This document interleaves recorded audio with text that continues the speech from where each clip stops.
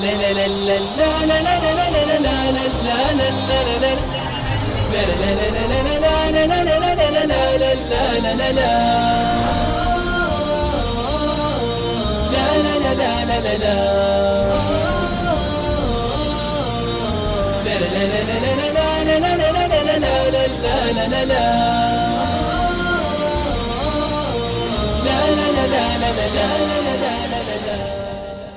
السلام عليكم ورحمة الله وبركاته. أهلا بيكم في واحدة من فقرات برنامج براند. طبعا كلكم عارفين إن البرنامج بيستهدف كل ما هو براند في كل مجال ولكن في الأول في الفقرة بتاعتنا دي نحب نرحب بأخويا وحبيبي محمد اللي معايا في البرنامج. حبيبي محمد. حبيبي شاعر الله يبارك لك. الله يعزك. ربنا يكرمك. وفي الفقرة دي يا جماعة معانا ضيف فيها أخويا الحبيب سامح نرحب بسامح. حبيبي حبيبي أستاذ علاء ربنا تسلم. يكرمك. ربنا يكرمك. نورنا وشرفنا تسلم لي يا وال look. الجميل ده. ما نتحرمش يا باشا تسلم والله. ده أنا مما زادني شرف والله ان أنا أكون معاك. ربنا يحفظك ربنا يحفظك. تسلم لي. ربنا يكرمك. آه النهارده بإذن الله عز وجل هنتكلم في موضوعنا اللي هو أصلا موضوع البرنامج بتاعنا موضوع براند ولكن عايزين ندخل فيه من موضوع من جانب تاني خالص. تمام كده يا محمد؟ دلوقتي إحنا اتفقنا إن كلمة brand أصلا معناها إيه؟ ماركة أو هو اتفضل طيب ماشي. ماشي عشان أكون معاك يعني. هو طبعا كلمة brand دي هي كلمة إنجليزية في الأصل ولكن هي ليس لها تعريف بالنسبة للغة الإنجليزية للغات الأخرى. ولكن كلمة بتوصف لكل ما هو ليه سطوع إعلامي أو انتشار إعلامي أو ماركة أو إن هو يكون ليه انتشار كبير يعني. فدايما يص- يصفوه بكلمة brand يعني. طبعا ال الانتشار ده خد حيز في اتجاه ربما يكون في اتجاه اللي هو نوع من أنواع الشهوات شوية بس يعني لبس مش أكلات معينة رياضة معينة اللي هي ال brand اللي هي ليها زي ترند كده بيسموه في تويتر يعني. لكن وفي حقيقة الحال إحنا بنحاول نستخدم الموضوع ده في اتجاه تاني وانت بقى توضحوا لنا يكون الاتجاه ده جميل. دلوقتي يا جماعة المتعارف عليه عند كل الناس عند كل الناس. أو مش هنقول عند كل الناس يعني خلينا نقول إيه؟ خلينا نقول إن إن إن الشباب اللي هو المرفه شوية تمام؟ دايما عايز في لبسه يكون شاري أفضل حاجة. وما عندوش ادنى مشكلة ابدا انه يخش يدفع مثلا الافات في يشتري تيشيرت يشتري كاب حتى تمام كده؟ بمبلغ محترم قوي مش فارق معاه خالص تمام؟ فاحنا بقى عايزين نبص للموضوع من منظور تاني خالص. طب معانا اخونا سامح هنتكلم معاه في الموضوع دوت. آه ان عايزين نقول ان brand لا ممكن تكون انت brand مش بشكل. انت ممكن تكون brand بعقلية تمام كده؟ عقلية تقدر توصل بيها للي انت عايزه وتقدر تعمل بيها اللي انت عايزه طالما إن هو في طريق طاعة رب العالمين. فيا جماعة معانا أخونا سامح. الأول يعرفنا بنفسه كده في حوالي يعني ثانية واحدة بس عشان يقفل عليك. حبيبي تسلم تسلم لي. اولا بس بالبدايه بحب أعبر عن شكري وامتناني والعرفان والما تجود به نفسي يعني آه لأخويا الأستاذ علاء عشري. فأعبر كده وأقول يعني والاستاذ محمد. فيا من أحسبهم ليوث غابة. وغيوث سحابه يا بسمة الثغر ودرة البحر وقلادة النحر واسطه العقد قرارة العد وتاج اليوم والغد. شم الأنوف ذوي النفوس الذاكية من ودكم في عمق عمق فؤادي. أهلا وسهلا بكم كلما نسنس الصبا. بنيتم بأقصى القلب ملها وملعبا فأعشب واديه وطابت ثماره وأمرج مرع كان بالأمس مجدبا. ما شاء الله. تحياتي. خدت بالك من المقدمة البراند السؤال الكلام آه. سؤال جميل من حد لذيذ جدا. حد له باع في المجال الشعري واللغة العربية الأستاذ علاء عشري. ولكن السؤال دايما يطرح نفسه على الساحة. عموما يعني على الساحة العالمية مش مش فئة معينة. هو فعلا فكرة البرنامج. آه، فعلا زي ما قلت يا أستاذ علاء آه، brand مش فكرة في مجال الفن ولا في مجال الموسيقى ولا حتى في مجال الالعاب ولكن brand أحيانا تمام كده؟ لو جينا نركز قوي في حتة الإدراك بالذات هنلاقي في ناس دايما بتنفرد بالحتة دي. وللأسف الشديد مش متسلط عليهم الضوء زي بعض الناس اللي واخدة مجال متسع وخاصة في ال social media عموما. ولكن فعلا زي ما أنت قلت كده في البداية إن أنا لو حبيت أطور الفكرة دي فعلا وأخليها فكرة متسعة وشاملة تشمل الكل. من أين أبدأ؟ على فكرة من أروع العلوم يعني من أروع الأفكار اللي طرأت في العلوم فكرة إن أنت إزاي تتعامل مع الناحية العقلية في الجانب الإدراكي. ودي دايما بتفرز فئة العلماء الأولى. طبعا أنا بتكلم من مجال من مجال تخصصي برضه عشان الناس ما تهش. أنا ماجستير كيمياء. فطبعا أنا هتكلم من وجهة نظري العلمية عشان ما حدش بس يقول هو بيتكلم بيتكلم من أي اتجاه. فوجهة نظري أنا هخلط ما بين الفكرة بتاع البرنامج والفكرة العلمية. إيه اللي في العلم؟ أو إيه مثلا مختص فعلا أو الجزء المحدد تحديدا في المجال العلمي عموما اللي مربوط بالفكرة دي. تعالى كده امسك العلماء. هم ليه بيسمى علماء أصلا؟ لأن العلماء بيفكروا في الحاجات اللي بيفكروا فيها الناس بطريقة غير مألوفة. كل الناس بتفكر في كل شيء بطريقة مألوفة جدا. لكن العلماء بيفكروا بطريقة غير اللي بيفكر بيها الناس. وده بقى اللي بيسميه بين قوسين كده الإبداع. العالم إنسان بياكل ويشرب ويلبس زيه وزيك جدا. لكن الفرق بينك وبينه إن هو استخدم بقى فكرة البراند دي فكرة الإدراك في الشيء المبحوث أو اللي بيبحث بيه بنظرة علمية ثاقبة بحيث إنه يكون زي ما بنقول كده بن- بنقولها باللغة البلدي عنده بصيرة أو عنده بعد نظر. فوصل لك للفكرة. أصبح العالم في مجال العلم أصبح نجم الكرة في مجال الرياضة أصبح مثلا الفنان أو مثلا الممثل المشهور أو الكاتب المسرحي في مجال الفنون مثلا ال- الكاتب الفلاني الشاعر الفلاني. لو جيت في كل مكان هتلاقي كلمة براند في كل مجال أو كل تخصص ليها فئة معينة من الناس اللي هم بقى الفئة الأقلية. دي اللي إحنا بقى عايزين نركز عليها بحيث إن إحنا نعممها على كل الشباب أو كل فعلا الأفكار المطروحة اللي هي بتبعد الفكرة دي أصلا عن كل الأنظمة. جميل هناخد من كلامك حاجة اللي هو فكرة في علم النفس يسموه أو علم الاجتماع السياسي كمان العقل الجمعي والعقل الفردي. فدايما يقولوا إن العقل الجمعي اللي هو العموم هو أقل تحضرا وفهما ودقة من العقل الفردي. اللي هو حضرتك قلت الأقليات اللي هي اقليات أهل العلم. أهل الإبداع أهل التخصص. وحتى وصلوا في العلوم الحديثة إلى ما يسمى بتخصص التخصص مش مجرد تخصص بس. يعني مثلا لو تلاقي بح... دكتور باحث في مجال القلب. عموما كان الموضوع كان عبارة عن أوعية عامة وعضلة يمنى وعضلة يسرى وبشكل عام كانوا بيتكلموا في القلب عموما. دلوقتي دخل الموضوع مش قلب بس ده لا ده جراحة قلب مفتوح ودخلوا إلى ما يسمى بتخصص التخصص. وهكذا في كل علم يعني. إلى أن وصلوا كمان عموما في الفلسفة العامة يسموها إيه؟ الكون المتعدد. كذلك الإنسان بقى ال ال ال الإنسان بين خلايا بقت الخلايا المتعددة بس السؤال هنا يا أستاذ محمد هل هي. نفس النظرة اتفضل يعني. أنا اللي بتكلم اللي بتكلم بطرح طرح الفكرة من البدايه الأستاذ علاء جميل قال لك هي فكره فكرة مثلا إن في ناس للأسف الشديد عم محجمه عقليتها في فئة معينة فكرة برنامج براند أو فكره. براند على فئة صحيح، معينة بس صحيح. م... لكن أنا لو جيت أعمم تعالى مثلا ارجع كده من حوالي 100 سنة أو 150 سنة هل كان كانت توجد الطائرة؟ لا لا لم توجد هقول لك أنا بقى الفكرة الفكرة دي مثلا مثلا عباس بن فرناس لما تكلم عن فكرة مثال بسيط عن فكرة الطيران.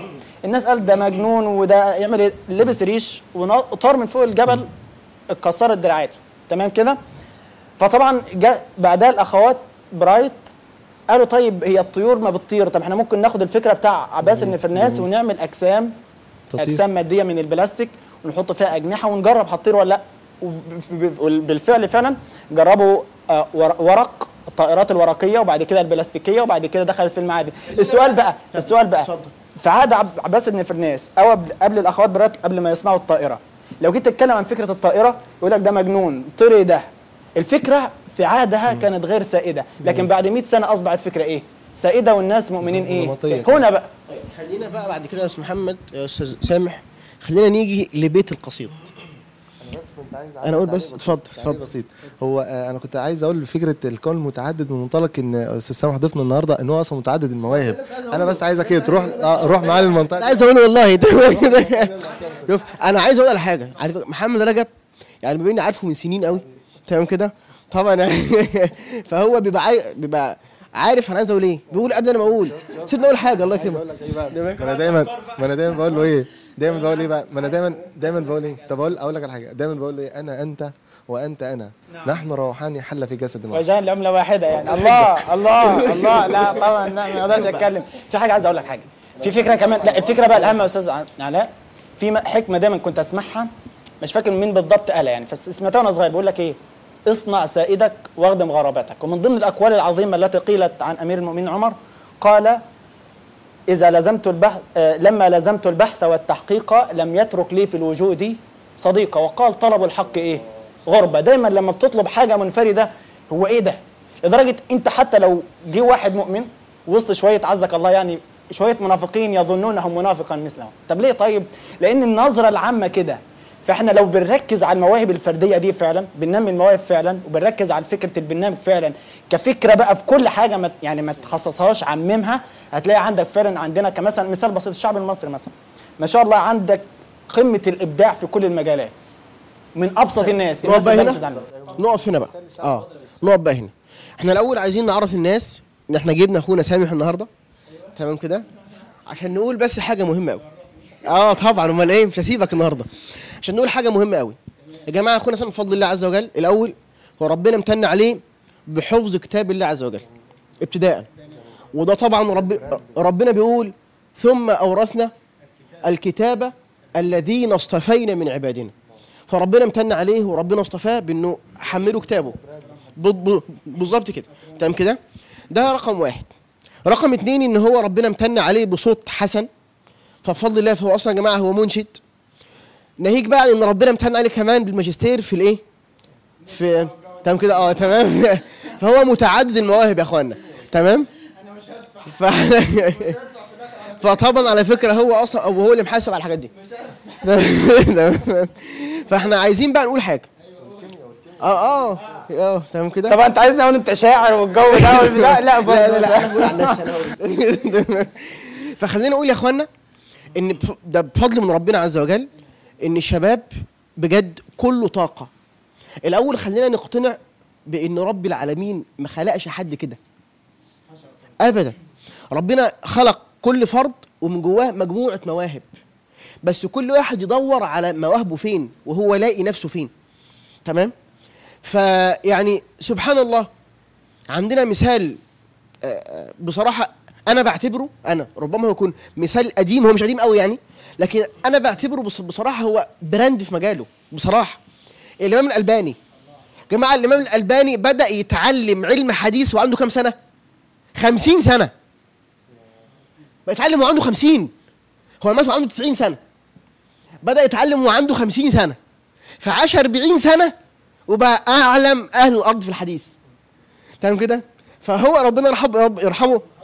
وعلى فكرة صدق. بيرجع للصدق بيرجع للصدق. برضه في طلب كل شيء. تمام. يعني الصدق دايما في طلب ال- الأمر حتى وإن كان بص لو كان اللي بيطلب عزك الله يعني كافر. جميل قوي تمام كده؟ جميل. الله عز وجل يسخر له خلينا. نقول اتفضل. يا سامع فكرة إن علم شرعي لا يتعارض مع علم دنيوي. الناس اللي بيقولوا مثلا مثلا ما حدش يا جماعة يدخل أزهر. الأزهر مواد تقيلة شوية. خلاص كده؟ لا طب يا جماعة الأزهر بيطلع منه دكاترة وبيطلع منه علماء كتير جدا جدا جدا. تمام كده؟ فخلينا نقول فكرة سامح مع حفظ كتاب رب العالمين لم تكن متعارضه البتة مع إن هو يطلع يقدم يحضر ماجستير في الكيمياء ويبقى جماعة بيقدم برامج تعليمية على اليوتيوب ليه قناة على اليوتيوب بيقدم عليها برامج تعليمية تبع مركز محترم قوي مركز في في بيدي في كل في كل المواد. تمام؟ فهنقول هل في تعارض أصلا ما بين الاثنين وازاي وإزاي لو حبينا نوصل مجرد رسالة في أقل من دقيقة إزاي تقول رسالة للشاب اللي مفكر ان الموضوع فيه تعارض؟ لا تقول له خلي بالك مش أصلا. تمام؟ وإن وإن هو الموضوع ملوش علاقة بصعوبة مواد من سهولتها. هو له علاقة بعقل براند يقدر يوصل باللي هو عايزه. ماشي أنا هجاوب على جزئيتين بالنسبة للسؤال. له. جزئيتين. الجزئية الأولى إحنا لو جينا بالتاريخ كده في ذاكرة التاريخ لعلماء المسلمين. أي عالم من العلماء مش هعدد لأنهم ما شاء الله يعني عدد ولا حرج. تمام كده؟ هتلاقي بفضل الله كل عالم كان يبرع في كل العلوم العلوم الشرعية والعلوم الدنيا والعلوم العلمية. تمام كده؟ وده في الأول في الآخر ما أخروش عن إن هو يتعبد وفي نفس الوقت يتعلم ويعلم غيره. وعندنا أمثلة كتير من التاريخ في العلماء في المجال المجالات العلمية كلها. دي الجزئية الأولى. الجزئية الثانية بقى كنت ده مفكر غربي قال مقولة جميلة جدا. قال إيه؟ قال لو أن الله عز وجل أعطى الحقيقة الناجز الله الله عز وجل عنده العلم الناجز. العلم الوافي يعني عند ربنا سبحانه وتعالى. فلو أعطى الله عز وجل الحقيقة كانت الحقيقة في يده اليمنى هو بيقول كده وده مفكر يعني فيلسوف لا له علاقة لا بالإسلام ولا يعرف حاجة عن الإسلام. قال لو أن الله عز وجل جعل الحقيقة الكاملة في اليد اليمنى وجعل البحث عنها في اليد اليسرى لسجدت عند اليد اليسرى تعبدا وشكرا لله على أن منحني نعمة البحث. فتعالى كده بقى. ال- خلينا أقول الانسان لا- لا- الانسان من الحتة دي خلي- كلام لا خلينا نتكلم. عنك انت. صبرا. بس آه تمام كده. خلينا نتكلم عنك إن إزاي الأول نعرف الناس إن ال ال إن مفهوم الأول براند في شخص سامح اللي هو قدر يجمع ما بين حفظ كتاب رب العالمين اللي عايز جهد وعايز وقت وعايز مثابرة وعايز تمام كده؟ وتحضير ماجستير برضه اللي عايز منه وقت وعايز جهد وعايز وعايز تمام كده؟ ناهيك كمان عن عن عن عن الإنشاد. تمام كده؟ فهو إزاي قدرت أنت أصلا تجمع بين الاثنين أنت شخصك أنت. تمام.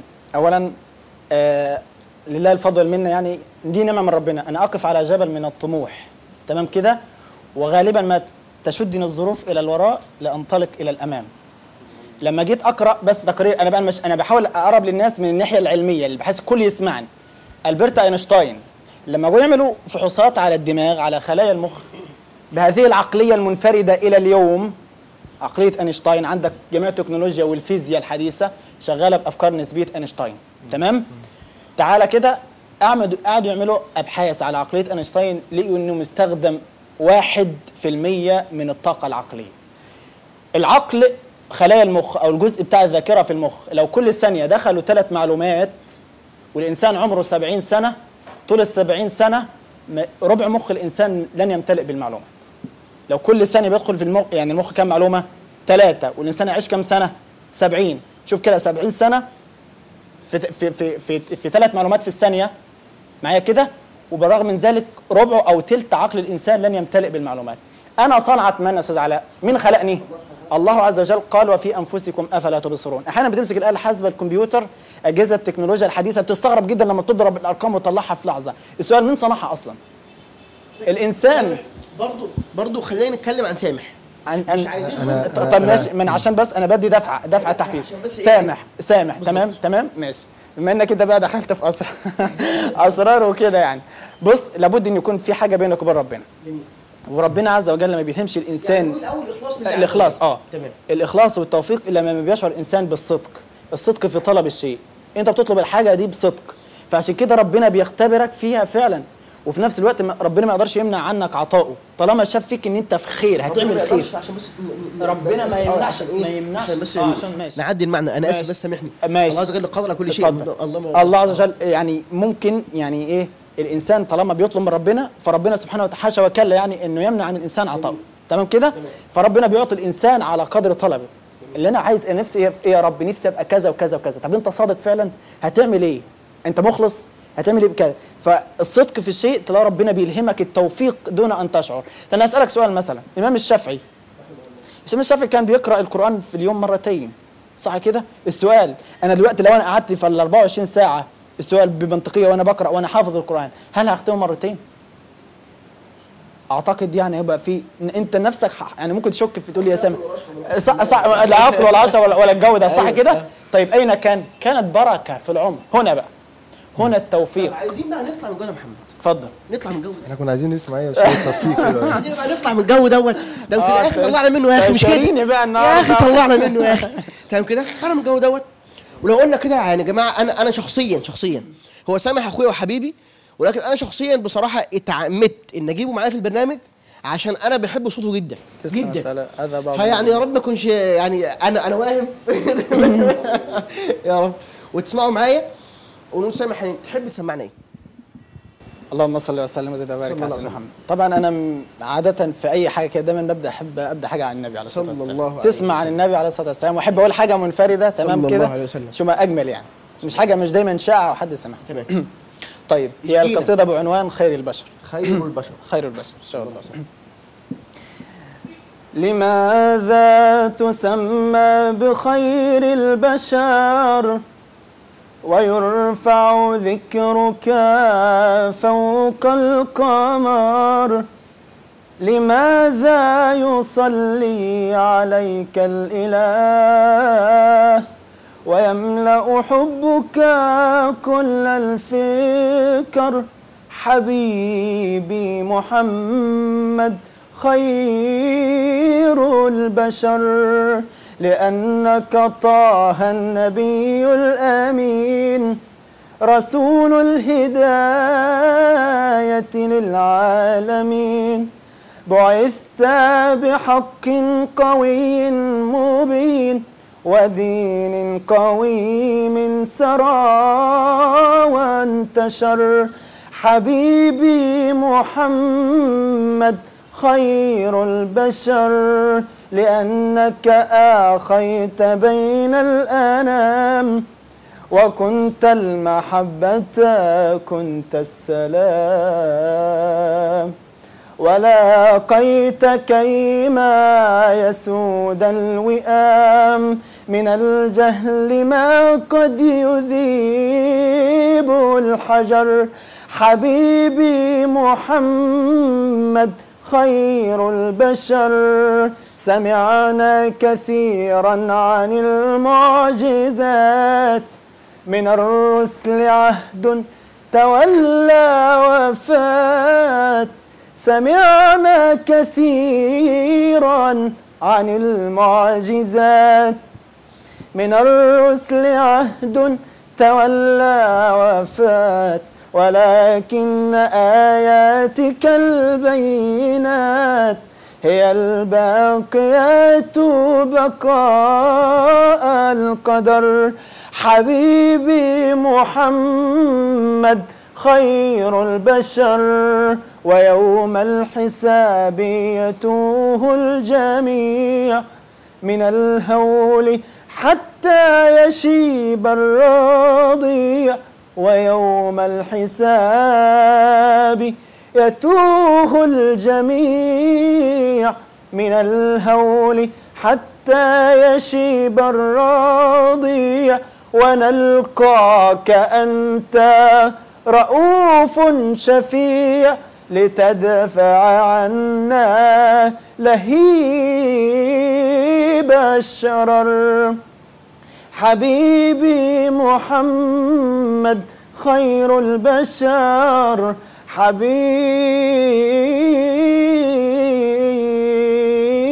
حبيبي محمد خير البشر. صلى الله عليه عليه وسلم. أفضل الصلاة وأزكى السلام. أحسنت. بارك الله فيك. والله يعني اللهم تقبل يا رب. والله ما شاء الله. والله يعني صوت الندي. والله العظيم يعني واختيارك لل... لل- للكلمات. ما شاء الله. لا. ما شاء الله. ما شاء الله والله. ربنا رب يحفظك. ورب وربنا رب يزيدك. و... ولكن طبعا طيب لو قلنا لو حبينا نسمع حاجة في- دقيقتين ممكن عندك حاجة دقيقتين؟ دقيقتين أقل من دقيقتين شنطة أما- تمام. حاجة بقى وطنية كده طيب. خلاص. الله المستعان. بلدي يا بلدي يا بلدي يا بلدي بلدي في حبك بل أكياني. بلدي يا بلدي يا بلدي يا بلدي أبعد وأرجع لك من تاني. والأحدود في ظل شموسك وسنينك ساكنة بوجداني. بلادي بحبك والله والميت نيلك بشتاق من خلفك شمسك طلالي وفي حبك نبض الأشواق بلدي يا بلدي يا بلدي يا بلدي بلدي في حبك بل أكياني. بلدي يا بلدي يا بلدي يا بلدي أبعد وارجع لك من تاني. وانت يا مصر عظيمة بناسك فيك شهامة كل الكون وانت يا مصر عظيمة بناسك فيك شهامة كل الكون زي الورد كل ولادك زي الورد كل ولادك. وهنبني يا مصر وبنعلي وبنوعد يا بلدنا تملي وهنبني يا مصر وبنعلي وبنوعد يا بلدنا تملي تبقي حضارة تبقي منارة يطل عليكي كل الكون. تبقي حضارة تبقي منارة يطل عليكي كل الكون. بلدي يا بلدي يا بلدي يا بلدي بلدي في حبك بل أكياني. بلدي يا بلدي يا بلدي يا بلدي أبعد وارجع لك من تاني. والأحدود في ظل شموسك وسنينك سكنة بوجداني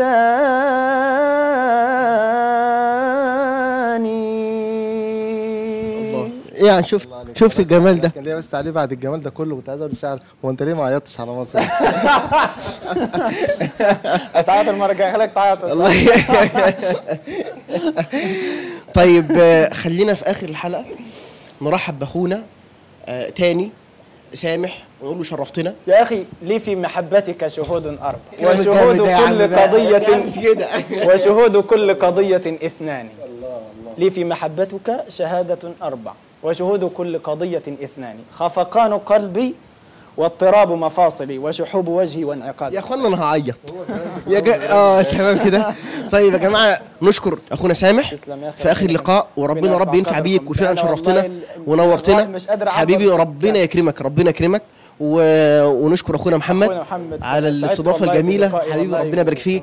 ونشكر كل المشاهدين ونقول لكم ان شاء الله على الموعد في لقاء تاني والسلام عليكم ورحمه الله وبركاته la la la la